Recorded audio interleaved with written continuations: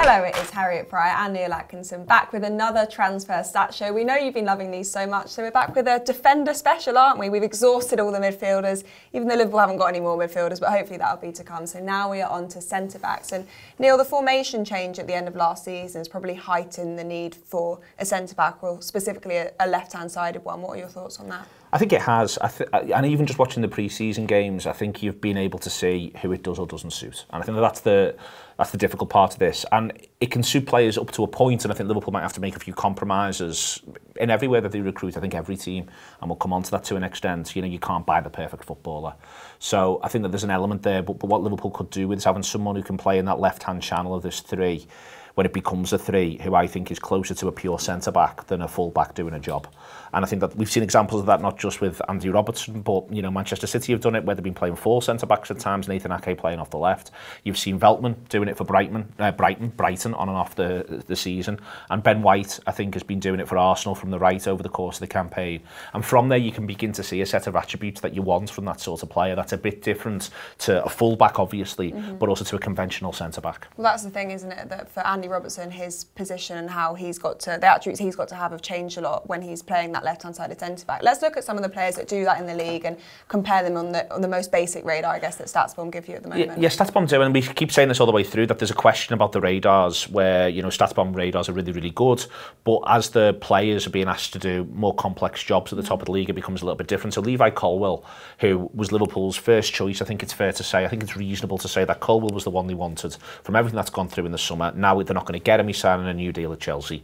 So Colwill profiles a certain way and was playing a certain role with Brighton. On the classic centre On the classic centre back radar. Yes. So you get to see, one of the things you get to see there is he's really, really strong in the air, wins his aerial battles, wins a large number of headers.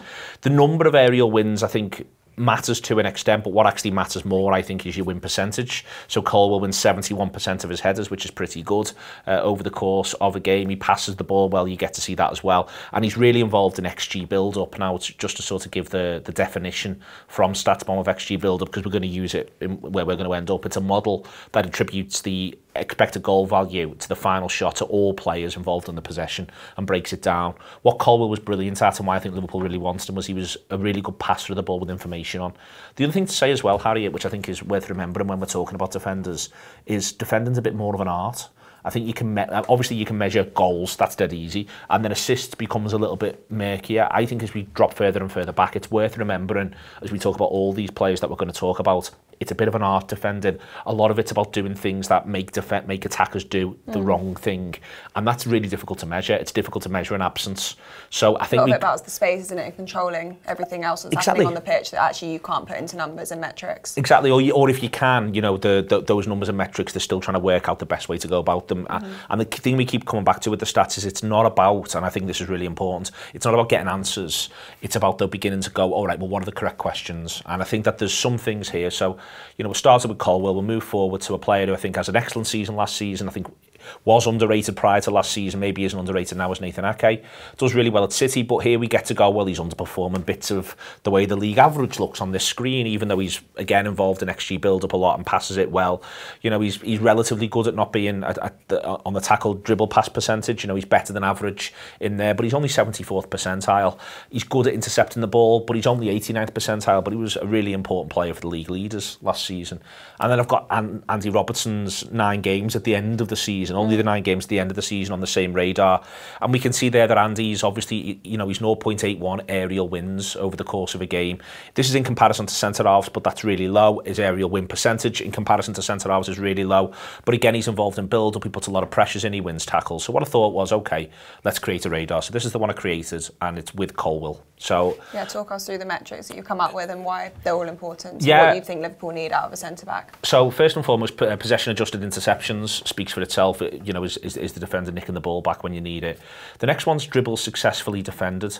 So rather than have the idea of tackle dribble past, I think it's a small difference, but I think it's an important one in that what you want to do is you want to stop the stop when when players are running at Liverpool defenders. We can wonder whether or not they manage to tackle and win the ball, or we can wonder whether or not they manage to just simply stop it. And I feel as though simply stopping it, whilst it feels a bit more reductive, is more important. So that's in there as well. Then you've got possession adjusted tackles, which is what you think, but again, it's possession adjusted. You don't want to be giving a lot of fouls away. Yeah Then we've got aerial win percentage. Then if it's a left-sided centre-back role, I've got possession adjusted clearances. It's part of the job of, of playing that position. It is getting rid of the ball and emptying it. This one's a little bit more controversial, but I feel as though pressures in opposing half is just interesting, mm. i.e. are they a really front-footed defender? Mm -hmm. So I think that you want to start in position perhaps at times where this is close to Van Dijk, but if the ball's there to be gone and won higher up the pitch mm. uh, in, from the side, you want to go and win it. And then the other stuff's about the, the nature of the way in which the players use the ball when they've got it. So passing percentage, XG build-up, deep progressions that I think is always important for Liverpool players who play in that back strip, uh, moving the ball into the final third. Left to right footedness as a percentage, that's not really a metric, that's just us finding out how much they use the left foot as we yeah. go through some of these players. So Ben White's going to really underperform on that, but it's not underperforming, it's just the nature of football. Yeah. And then carries, like how often do the players, Colwill's really high for carries Drive here. Forward. Drive forward with the ball, even if it's not dribbling past anyone, how often do they see the ball at their feet and think, you know what, I can move five, ten yards up the pitch, Colwill's 92nd percentile. And if we look at that, we can see that whilst Colwill's not perfect, because no footballer is, we can see that, well, you can see why Liverpool wanted him mm. in terms of those skills. Does that make sense? That does make sense. So let's have a look then at how Andy Robertson does on this radar, as well as some other Premier League players who play in that position. Yeah, so we'll start off, we'll do Ake first, because I think Ake is just a really good, again, example. I think Liverpool want more front-footedness than you necessarily get from Ake, but you can see there he overperforms the league average, and I've taken the league average from this, by the way, is right back, right-hand side at centre-back, centre-back, left-hand side at centre-back, and left-back. So all the all defenders, the all the defensive positions combined into one. That's the league average, and he outperforms the league average in every single metric. Uh, dribble successfully defended is nice and high, so you can't, you know, he, he does get beaten. We've seen Salah beat him, but he doesn't get beaten all the time. Uh, fouls, aerial wins higher than the average. Pressures in opposing half. I think City are interesting that they drop more mm. than press in there at times, but I think Liverpool would press. Um, deep progression's really, really strong. Airs on the side of his left foot, carries the ball well, passes the ball well. Robertson's the next one, and you see with Robertson, again, just using those games at the end of the season, his possession adjusted interceptions is low. Um, his aerial wins at 50% is 24th percentile against all defenders, full stop. That's low. But you can see on everything else that we've measured here, he's he's doing well. So it's not like the idea of Robertson playing this position is some sort of absolute nightmare that should be avoided at all costs. Mm. But it's just that it doesn't entirely suit in the way it might suit someone who's got a couple of more centre-back attributes. Well, there's also certain things in there that you'd want from someone who's playing that pure centre-back position and would, like the aerial basically would be yeah. the biggest one for you. Would you agree with that? Yeah, I think it would be, and especially, you know, Liverpool at the minute, the link with Lavia and Andre Trindade as the centre-back, as the centre midfield options, and we talked about them on a previous one of these shows, but both of them, I think Lavia is just above the league average for headers last season in, uh, in the position. Uh, is markedly lower. You've got Thiago in the middle of the park as well. Harvey Elliott will get games for Liverpool over the course of the season. I think it's worth saying. I think Diaz is really good in the air. Gakpo is good in the air. Nunez is a big lad. So Liverpool, you can know, rely on other people to fulfil that. F fulfil that, but you probably do want to be able to, from time to time, pick this left-hand side at centre back as someone you think will win headers. Okay. So moving forward from Robertson, Ben White is another good one. And again, just again reflip this argument. We said before, Ake pressures in opposing half was really low. Arsenal, we've seen at times last season, they were really genuinely quite front-footed and took a few more risks, and we see Ben White pressures in opponents and half is up. Mm -hmm. The idea of this, it's not like everyone's going to do it the same. So the way Liverpool do it's going to be the way different to the way Arsenal do it, to the way Brighton have done it, to the way Manchester City have done it. And also the individual players bring different things to the party. And you can see, obviously, again, just to illustrate the point, left to right footedness percentage, he's really low because he's right-footed. He's right-footed, yeah. uh, you get to the rest of that there. Veltman's interesting.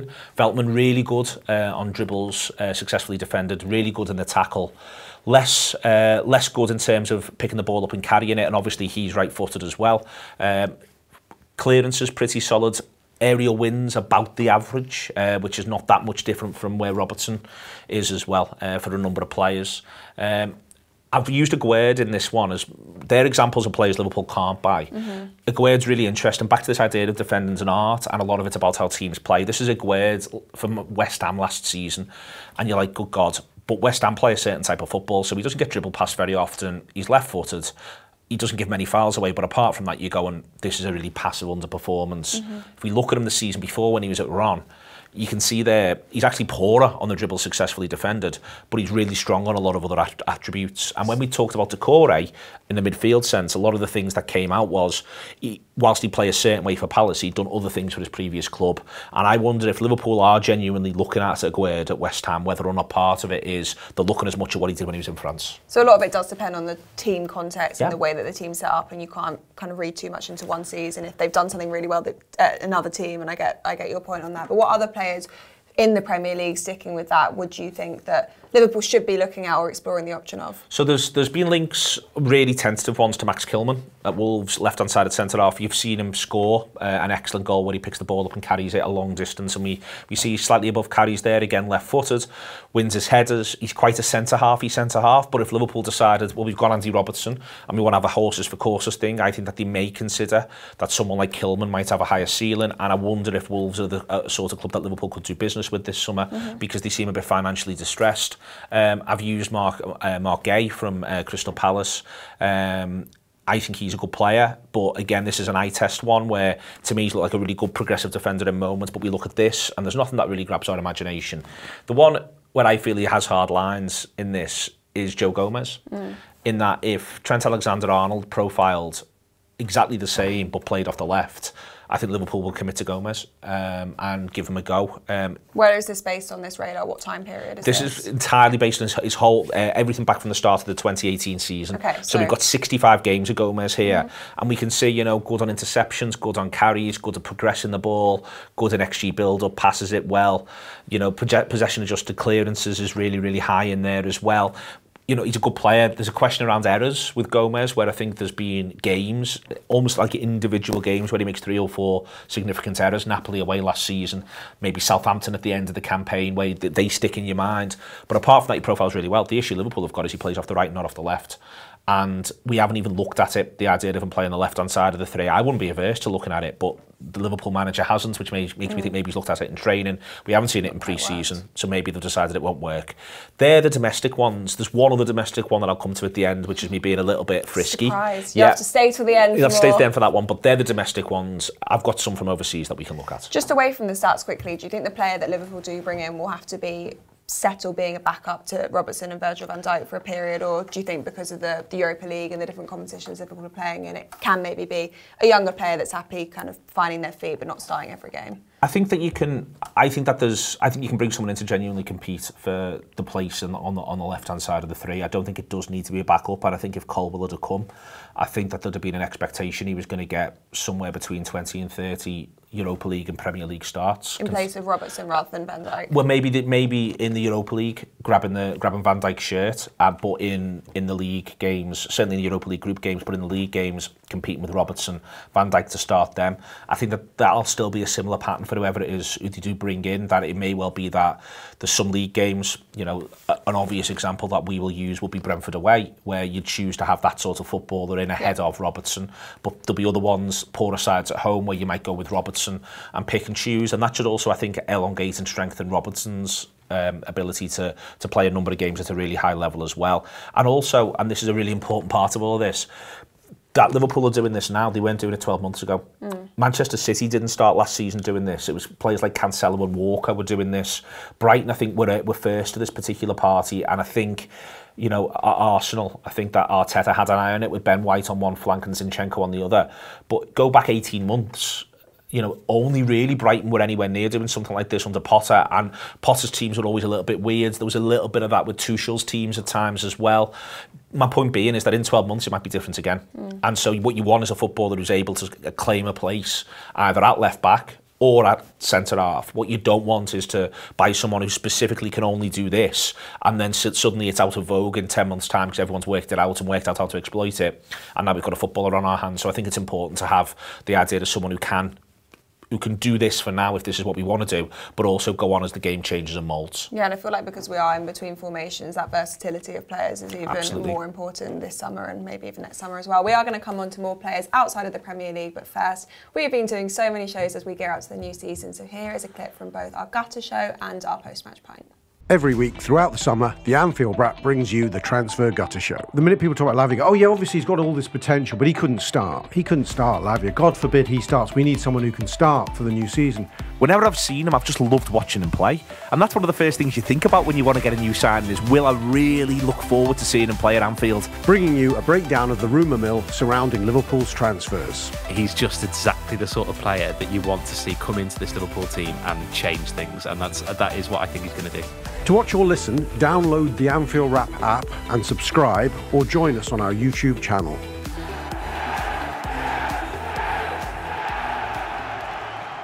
It is the post-match pint, our post-match video from the Anfield Wrap. After every Liverpool match, the Anfield Wrap brings you the post-match pint. Manchester United nil, Liverpool 7. Fuad Hassan is filming this on a bus. It's chaos. Home, away and in Europe, the post-match pint brings you our immediate post-match reaction. To access this and loads more, download the Anfield Wrap app or join our YouTube members. Could not get better than this.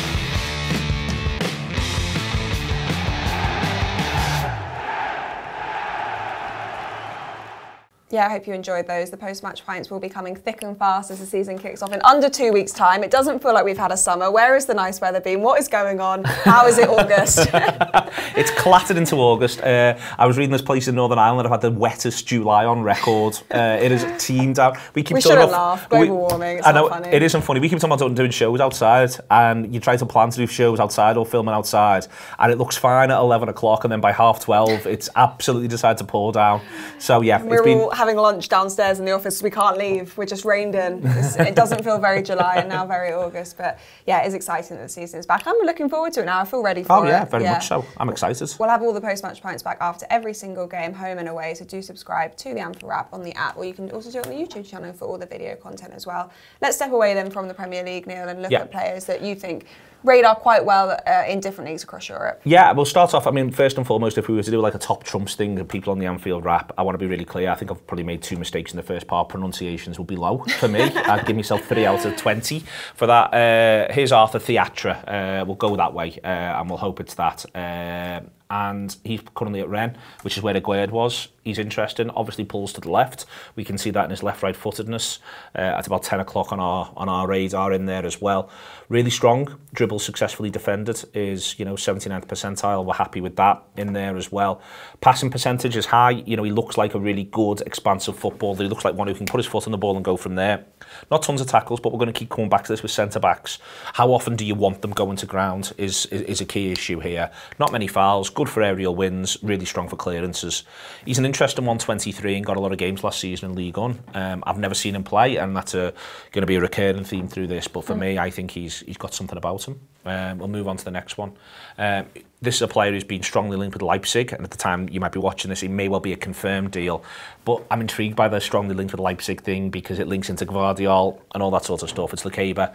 He's currently at Lyon. He's only 20, um, and I think this is a footballer who will go to Leipzig, and then everyone will be paying a lot of money for from Leipzig. If Liverpool could swoop in ahead of the game, you never know. Uh, but possession adjusted interceptions, really strong 97th percentile. Um, not tremendous on aerial wins, but that's something that comes over time. So for some footballers, you know, he's only 20 at this point and they'll be, be learning and maybe even just a little bit of final bits of growing in there as well. Clearance is strong and again looks like a progressive footballer, uh, passes the ball well, carries it in this position. I think Lukeba could be one uh, in, in, in two years' time if we're still doing this. People are saying should we get Lukeba in. Do you like that age profile for a player that was coming in now, or do you think a little bit older than that would be better? I think there's I think there's no wrong age profile for this position for Liverpool. I think for the midfielders where we've ended up, I quite like the idea of if certainly if there's no one who we love who's 24, 25, I quite like the idea of the two slightly younger players who mm. both got uh, a project with the Europa League this year. I do think a little bit this one for Liverpool I feel as though you know there is a bit a bit of elements of be good now. You know we are talking here about players for whom I think league games will become really really important uh, over the course of the campaign, and there's no. whilst I like Robertson, there's no sort of obvious impediment there. You know, I'm quite excited by seeing Jones at number six, and I don't know a lot of people aren't, but I think he could do really well there over a period of time. But part of what would help him and help the team in general is if you've got the option of saying, no, today it's a nailed on these are these are three defenders defending their hearts out. Mm. And if Trent needs to go and play right back and one of them goes left back because we're going to have a rough uh, a rough 30, then that'll work really really well for us. I think having that as an option is no bad thing. It is Guardiol and who City have been who City have been strongly linked, linked with, and yeah. people are saying oh Liverpool should swoop in. And this is part of my on the numbers thing. Whenever I've seen him I think he's looked quite good though I do think he's looked like he can be exposed and what's interesting is he's he's really not good when he's ran at. Uh, here up against the, the average. He's 10th percentile of all defenders in the Bundesliga. Um, and he's low on aerial wins as well. And I'd say that stuff's quite important. He's low on possession adjusted tackles. What he's brilliant at, clearly brilliant at, is that he's clearly an excellent footballer with the ball at his feet. Here, this is where left-right footedness is interesting. 71%. So that what that means is he's left-footed, but he uses his right. And he's capable when he does so. Uh, the passing's all really strong, XG build-up, progressions and carries. For me, this is City buying a more progressive version of Ake. Yeah. Um, and this is the, that's the upgrade they're looking to make, which I think is interesting. But it wouldn't surprise me if here and there you see Ake start and this lad not. Uh, certainly, again, it is worth saying he's only 21. It depends on the opposition as well, doesn't Yeah. it? Sometimes you're going to want a more defensively minded player. Sometimes you're going to want someone who can drive forward a bit more, and, and then you'd have those options if you were if you were City looking at that, what other players have you got across the uh, across uh, Europe? Also in Europe, uh, uh, Leverkusen is Hincapi, uh, Piero Hincapi. Um, he's interesting again, good on dribble, successfully defended, so obviously good at shepherding people away, one on one, 71st percentile. Um, not outstanding anywhere else. It's worth pointing out, not quite what you'd want in the air. He's only 21. Um, pressures in the opposing half better than the average but not outrageous Quite left-footed carries. Don't quite see him being part of building the play. Is an important point here, but feels as though he could be a good enough one-on-one defender from Liverpool's point of view. Um, staying in the Bundesliga, similarly good. Uh, It's not going away. He's not going away. Well, he's not going to Tottenham. You know, there's been, well, he might go to Tottenham, but there's been loads of links with him going to Tottenham, and it's not happened. Is uh, Mickey Longlegs, Mickey van der Ven, um, again really strong on dribble, successfully defended, goes to ground in, in tackles on a regular basis in here as well. Not terrific on aerial wins, but progressive uh, enough to make him wonder whether or not he's got a ceiling to go to if he played for Liverpool or not Wolfsburg in terms of how he uses the ball. I think I think that one may well be going go, not going anywhere anytime soon. The next one is the for me what I would sort of frame as the class horse in the field is Bastoni at Inter Milan who has been a pleasure to watch for for years whenever I've caught them. And yet it's not quite as dramatic a radar as I sort of anticipated. I thought I, I thought oh, when we get to Bastoni it'll be boom in the sides. And it's just not. Um, not necessarily great when he's ran one on one not quite as good in the air as I thought he was. I thought he was a good aerial performer decent enough on the interception. So the defending's all a little a little average. Now, it might be that he hasn't got a lot of defending to do, but what I would say is a lot of this stuff is possession adjusted. Um, even the, you know even moving along deep progressions is nice and strong. Passing percentage a little bit a little bit lower than I again I'd have anticipated. Uh, XG build up's really good though um, and obviously looks to carry it when he can. I just thought that'd pop more to be honest with you. But again this is back to it being an art not a science in this area of the pitch.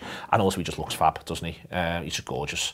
Um, he's, I don't actually know what he oh looks look him up in the meantime. He's, he's, he's the latest in I'll a long line. after the show. Know about to Google uh, uh, he's the latest in a long line of, of, of, of wonderful of wonderful looking Italian defenders. Um, this is the really interesting one. We know he's got a release clause, Gonzalo, Gonzalo Inacio, and where he's weaker, arguably, is in a couple of the defending aspects there. So he's not been particularly front-footed on pressures. Clearances, he's a little bit below average uh, for the league, and again, it's possession adjusted. Aerial wins maybe mildly concerns you. But if Liverpool were looking to the idea of hijacking Gvardiol and what Gvardiol is as a footballer, don't hijack Gvardiol, just buy Inacio. Yeah. Um, you know, do that instead. Sporting have been not not the, the best side in Portugal, but one of the best teams in Portugal. He intercepts it well, he tackles well. You know, it, it's strong enough on the dribble, successfully defended. If maybe, just maybe, Liverpool might want a bigger footballer because they might think, well, we can get Andy Robertson to do a lot of what looks good here, mm. but we, we, we can't make him five, five inches taller. How tall is this? About six foot one. Six so foot it's, one. he's not enormous, but he, he's not he's not Robertson's height mm. either. But all the other stuff absolutely bangs. Passing percentage 91st percentile against all the Portuguese defenders. XG build up 98th percentile. Deep progressions that's high for the centre mid 8.78, 99th percentile for the defender. Um, he's left footed, but he's not dominantly left footed. 83% suggests he uses his right, and his carries shows that he's front footed with the ball. I think Inacio is one where you know I'm able to go and if there is a release clause and it is under 40 million, I do wonder if this is where Liverpool end up uh, because I'm looking at that and as I say, I don't think he solves everything and you've still got a bit of an aerial question. Yeah. But he looks to me like, of the ones that we've gone through here, he looks to me like the most impressive. I'm going to ask you for your top three, but first of all, I think you have a surprise package, don't you? And a, late entry to the stats show. a late entry because I've just done the call with David Mooney, um, and in there with Dave, he basically said, you know what, it's odd to me that Crystal Palace didn't seem interested in uh, Aymeric Laporte at 35 million, and I thought Aymeric Laporte at 35 million. Now, Manchester City maybe wouldn't do business with Liverpool, but if you look at Laporte, um, I think he profiles really strongly. Again, he's left-footed, but he's not obsessively left-footed. It's a 70, he's 76% uses left foot against 24% to his right. Possession adjusted interception, strong, carries strong, uh, aerial wins strong, clearances strong. Not doing a lot of pressing in the opponent half, so he's he is more of a centre half. And then you look at all of his ability on the ball, and again he, he, he profiles like that elsewhere. Falling out of favour at City uh, for one reason or another. Uh, it could be that he might not be the sort of personality that Guardiola wants to work with, but it doesn't feel like it's gone the full Cancelo, at least. Um, City, I suspect, would not want to do business with Liverpool. Yeah, that's the key issue. But if they did want to do business with Liverpool, then the other question on, on Laporte is that he is 29 and he wouldn't come if he didn't think he was getting games. Mm. Like, that's where you are looking at someone who's... He's not going to go from the position where he doesn't think he's getting regular enough football at Manchester City and then come and play for Liverpool. situation. So it, I think you'd have to have a really clear sense of when you were going to use him. But it could well be the sort of signing that gets you another season out, season or two out of Van Dijk at the highest level because you can protect him even more uh, in there as well. You could play Robertson and Laporte together, which I don't think you could do necessarily with Inacio and, and, and Robertson. So I think there's maybe a journey there. There's an argument. If you're if you're gonna if you're gonna top three me, then I'm I'm probably going to gonna top three. That was my next question. if you're to top three me, then I'm probably to go uh, with Inacio at one. um, I'm going to move to Laporte at two and say Liverpool should see if they can do it and if it will work.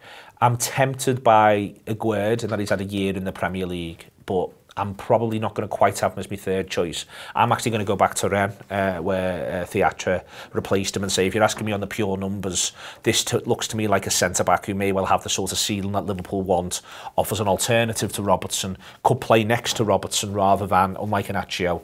And I think that they're the three where Liverpool could end up picking from. And as I say, I don't think City would do business with us, but I think that they're, they're three names. Do you think we're going to get a defender? Yep. And a midfielder, two? Two, yeah. Um, and I think that they will still be frisky about one more. Uh, and I understand why people don't like the idea that they negotiate and they're trying to get as low a fee as possible. What I would say is that if they end up, for instance, looking at getting a player in for 20 million, it may well be because they saved 5 million on four players.